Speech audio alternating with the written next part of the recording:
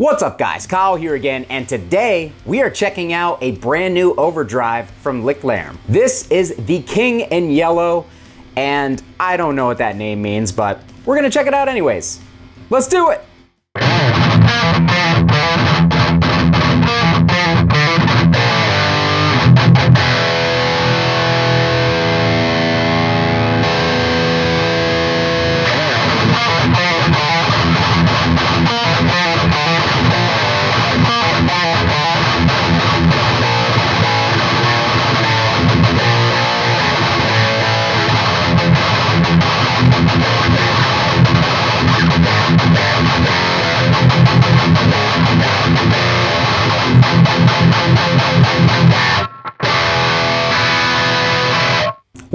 Not even in tune. Hope you guys are having a great day out there today. If this is your first time here at my channel, my name is Kyle and what I do is I take all sorts of awesome high gain related guitar gear, I record it with a simple SM57 setup, and I give you the unprocessed audio on your end. So if you're into E-stand or thrash riffs, drop C hardcore riffs, and dudes who have a funny voice because they just choked on their vitamins, you're in the right place. Consider hitting the like button and subscribing on the way out so you don't miss any more of my stuff.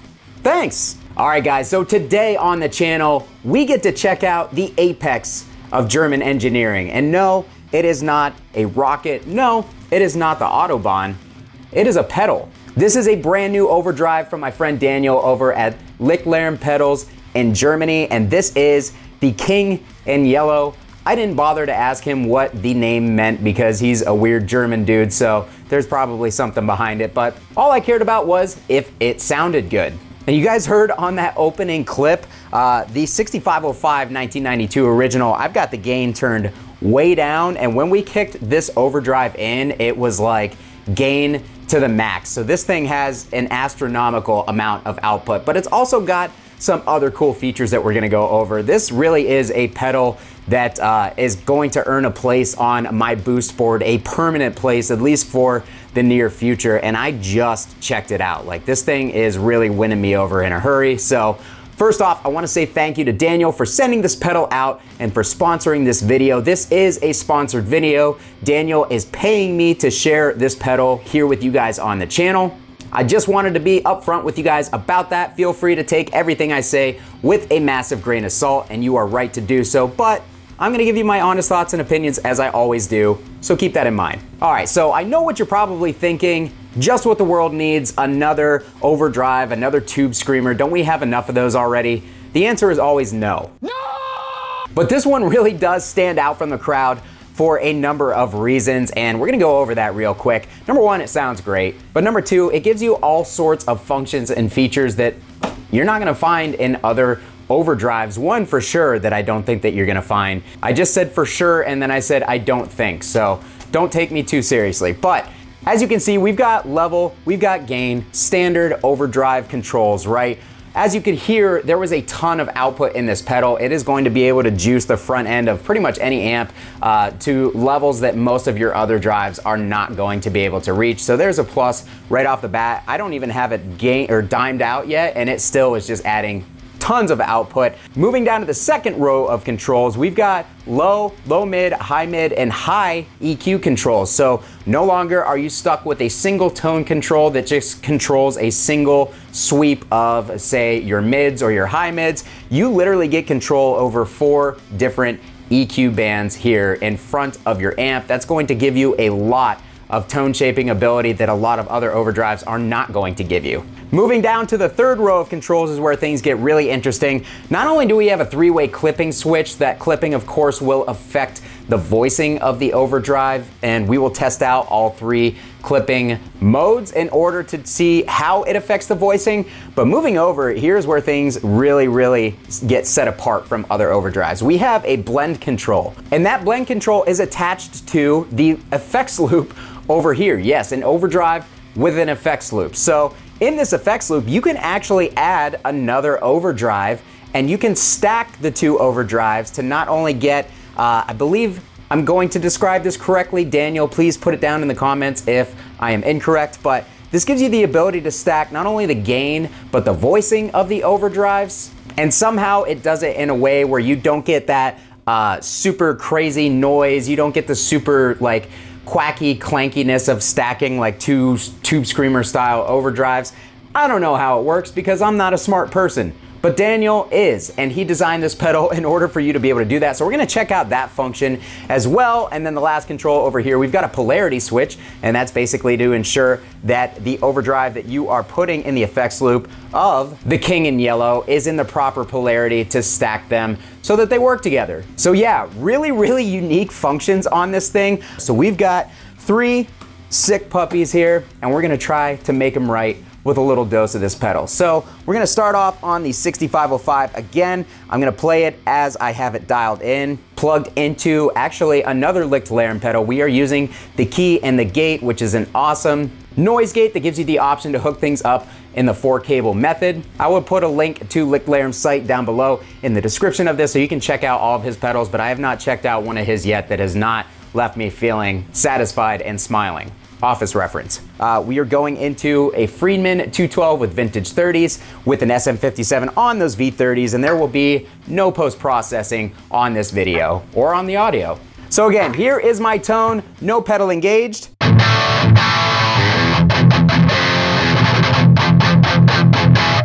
As you can hear, pretty tame for a 6505. Let's kick that pedal in the way you see it dialed.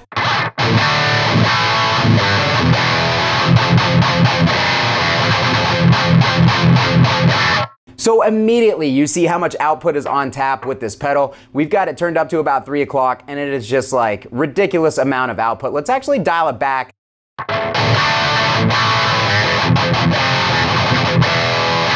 All right, so let's pull the gain up on the amp. This is more of like a regular Tube Screamer style output.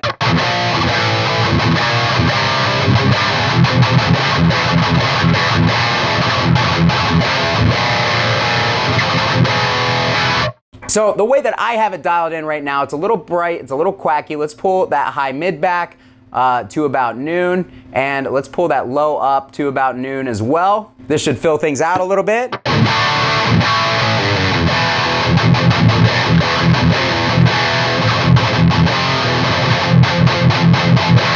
Yeah, so it balances out immediately. If you want a more modern sound, you can easily get that by dialing the high mid up, dialing those highs up, dial the lows back. But if you want a more traditional sound, put everything at noon, and that's kind of gonna get you right in that standard Tube Screamer style voicing. Let's actually bump that level back up a little bit, and let's check out the three clipping modes. I am all the way to the left, or all the way to the right, depending on which way you're looking at it.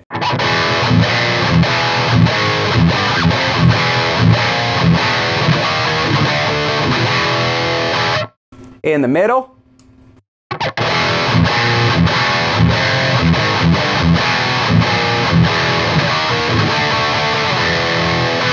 Okay, so the middle is a little bit smoother, a little bit darker, and all the way to the left or right. I don't know, all the way to the side.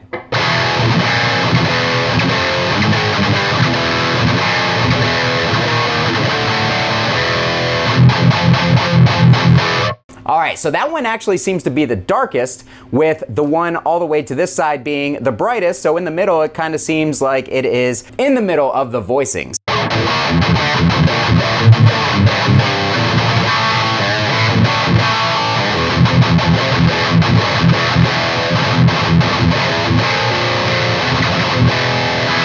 Let's check out that effects loop because uh, I'm quite curious. I actually haven't even tried this yet, so I went ahead and added my MXR M77 Badass Modified Overdrive in the loop of this one just to see how they would stack. So we've got the blend turned all the way over to the right. And when you do that, if you don't have the overdrive on, it's actually gonna mix kind of a clean signal in with the overdrive of the Lichtlaerm.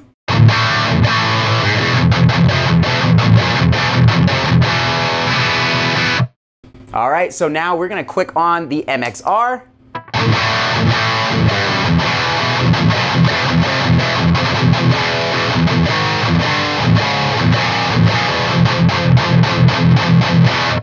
All right, so that's pretty interesting actually. Uh, let's dial up the tone and let's kick that mid bump off.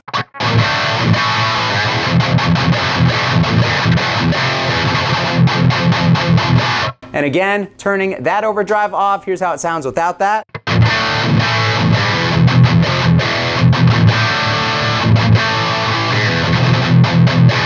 All right, so that's pretty cool actually. Here's what happens if we turn both of them off. All right, that's really interesting. So not only are you getting the gains stacking on top of each other, because we've got a ton of gain, a ton of output right now, but you're kind of combining the voices as well. He said that it was basically designed in mind so you could stack like a TC integrated preamp style boost with this one and kind of get the best of both worlds. So really cool, but let's take this over to the Diezel and see how a drier, stiffer, kind of fatter amp reacts to this thing. I think that we're gonna have good results. All right, guys, so we are on the Diezel Hagen. We are on channel three. Here is the amp with no overdrive in front.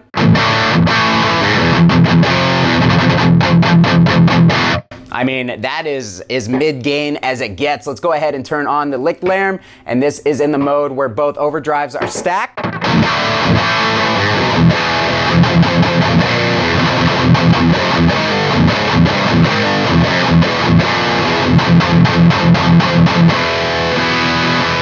All right, so both overdrive stacked, we're getting a ton of gain. Let's go ahead and turn those highs up a little bit. Let's get a little bit more aggression out of this thing.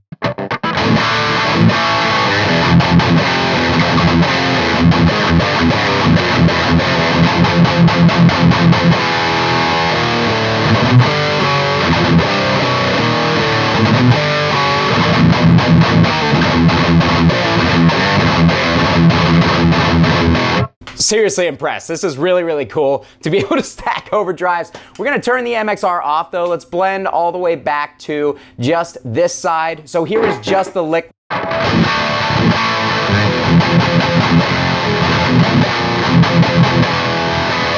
All right, so we've actually got so much output that it's overloading the front end of the Diezel. So let's pull the output back a little bit. All right, let's switch it back over to this far side where it's a little bit more aggressive.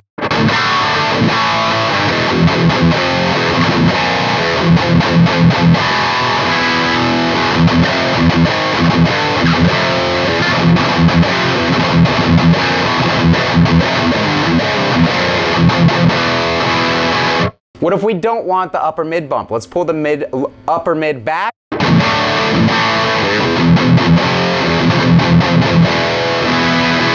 That actually makes a pretty significant difference. Like it makes the overdrive uh, or it makes the voicing going into the front of the amp more throaty. It definitely tightens up and cuts a lot of the low end, even with the bass or the low end dialed up a little bit. Let's see if we can actually get a little bit more low by dialing that higher.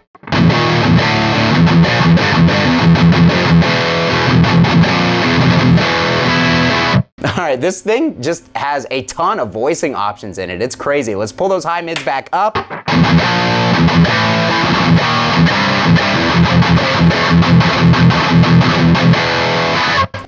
This thing is super impressive. Last but not least, let's check it out on the Mezzabarba. Let's see if it can tighten this baby up because this one is saturated, but it's a little on the loose side. I think it's gonna do it just fine. All right, guys, last but not least, we've got the Mezzabarba hooked up, one of my favorite amplifiers. Here is the amp, channel three, no overdrive in front.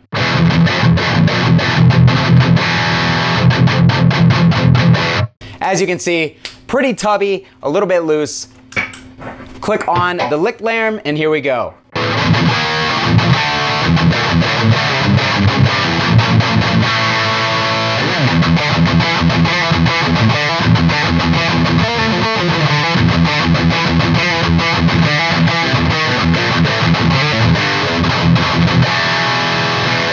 All right, guys, drop C. Let's pull the lows back on the front of the pedal. Let's add just a tad, upper mid, just a tad, high.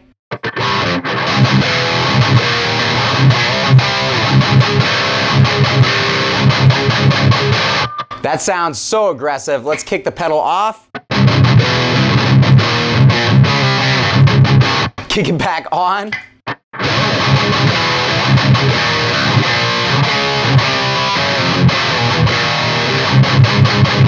We can actually pull that output back because that is like too much.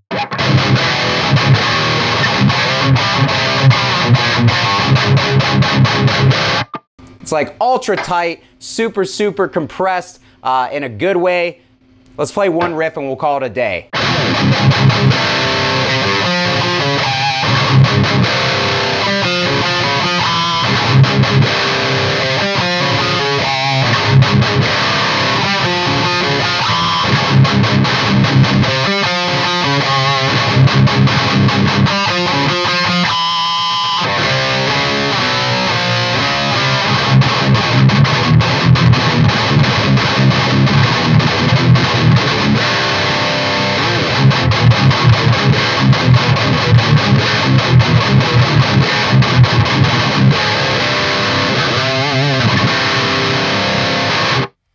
Guys, my guitar fell completely out of tune there at the end, but that's gonna do it for me today on the Lichtlaerm all new King in yellow. This pedal has been released today. Today is the first day that it's available. And again, I will link down below in the description of this video for you guys to be able to check the pedal out. I would not hesitate to recommend this to you guys. This thing sounds absolutely awesome. It's been doing everything that I wanted to do in front of three very different sounding, very different feeling amplifiers. It's really gonna be able to cover so much ground, even in, in just the single pedal format and the ability to stack another overdrive on top through that effects loop. I've never seen that before from another overdrive. Very, very unique set of features on this thing. And most importantly, it sounds great. So uh, cost, I don't know. I don't know what it's gonna cost because Daniel didn't tell me. Again, if you guys wanna pick one up for yourself, down in the description of this video. If you would like to support my channel, of course, Patreon, add your name to this list of fine people. Support the channel that way. Everything that goes into that chan into that channel, everything that goes into that account goes back into making better and more content for this channel, and I would really appreciate it. That got really confusing. Of course, my affiliate links always apply. Sweetwater and Zzounds, those are gonna be in the description of every video. That's gonna do it for me today, guys. Hit that like button on the way out if you enjoyed the video. Let me know what you thought about this pedal in the comments. As always, I will meet you down there to talk about it. Thanks so much for watching. Kyle here again. We'll see you next time.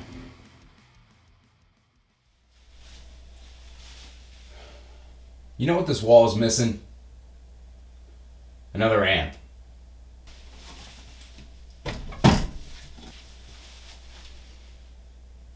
There we go. That's not good.